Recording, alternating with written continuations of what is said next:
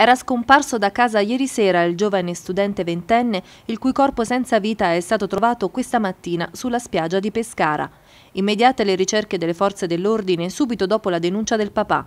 A segnalare il cadavere tra gli stabilimenti balneari La Prora e La Vongola, un uomo che stava facendo jogging poco dopo le 7. Immediato l'arrivo dei sanitari del 118 e degli agenti della squadra volante, che non hanno potuto fare altro che constatare il decesso dello studente.